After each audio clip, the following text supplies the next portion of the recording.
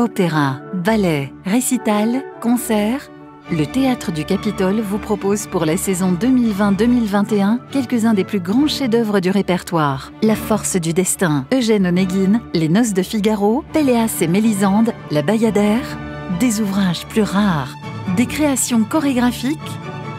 Les artistes les plus prometteurs de la jeune génération côtoieront les stars de l'opéra et de la danse d'aujourd'hui. Théâtre du Capitole, abonnez-vous à l'émotion.